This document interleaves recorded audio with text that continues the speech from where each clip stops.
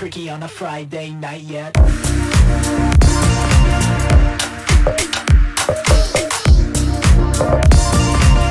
Getting freaky on a Friday night yet.